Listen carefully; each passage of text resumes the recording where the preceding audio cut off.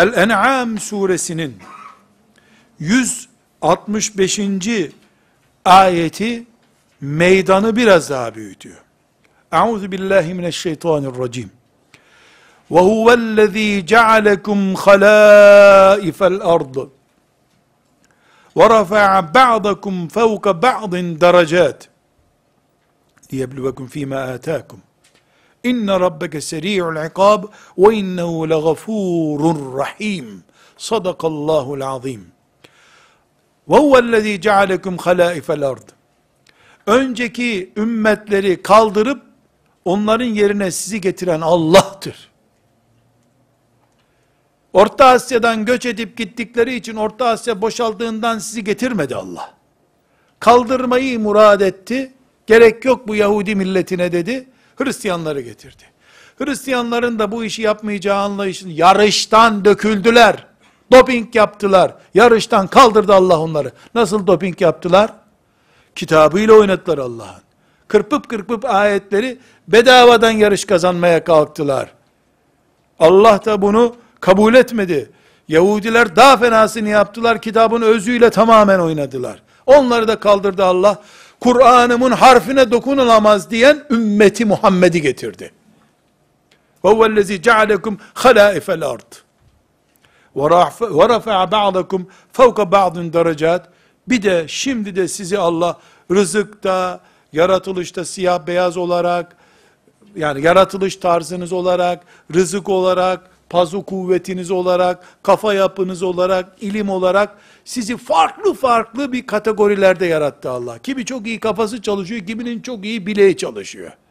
Kiminin yüzü parlak, kiminin kalbi öbürününden daha parlak, derisi siyah olduğu halde. Farklı bir atmosferde, bir çay bahçesi değil, dünya bahçesi gibi Allah sizi yarattı. Farklı farklı potansiyellerle liyebluvekum fîmâ âtâkum. Bu ümmete verdiği şeyleri ne yaptığınızı görmek istiyor Allah. Önce Muhammed Aleyhisselam'ı verdi size şeref olarak coğrafyasından matematiğine kadar dünyanın en büyük bilgilerini size verdi Allah. Şimdi ne yaptığınızı görmek istiyor.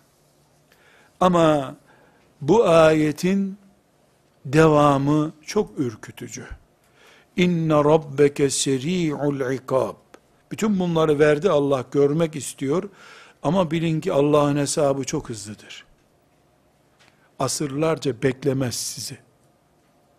Beklemez kaldırırsan hilafeti, beş asır sonra sen getireceksin diye seni beklemez. En mülhit kullarından birine onu yeniden ihya etme vazifesi verir. Sen gafil gafil uyursan. Ve innehu legafurur rahim. Tövbe eden nesilleri de affeder. Çok gafurdur çünkü. Rahimdir de. Eski hatalarını görmez bir daha. Merhametle muamele bulunur. O zaman bu El-En'am suresinden ne çıkarıyoruz? Aslında biz Peygamberimiz geldi de, Peygamberimiz aleyhisselam döneminde de bize bir rol biçildi de o rolü oynuyoruz. Bu çok küçük bir bakış. Biz Adem'den Adem aleyhisselamdan beri büyük bir projenin bir bölümündeki büyük bir yarıştayız şu anda. Bunun için canım peygamberim benim. Ne olursunuz çoğalın da ben övüneyim kıyamet günü diyor. Bunun için çoğalın ve ben övüneyim diyor.